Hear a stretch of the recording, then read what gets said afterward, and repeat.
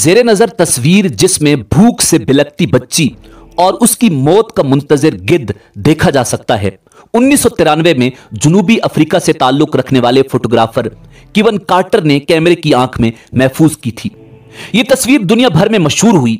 Kevin quarter ने इस तस्वीर के बायस शोहरत और अवार्ड्स तो अपने नाम किए, मगर उस रोशन दिन की तारीकी कभी उनके अंदर से निकल नहीं सकी। किवन कार्टर पर इल्ज़ाम लगाया गया कि उसने नाकाबले बयान अजियत में मुबतला बच्ची की मदद के बजाय उसकी तस्वीर निकाली और जाती शोहरत और नफे के लिए तस्वीर बनाने में मगन रहा। इस तस्वीर ने उसे जज्बाती तौर पर तबाह करके रख दिया था।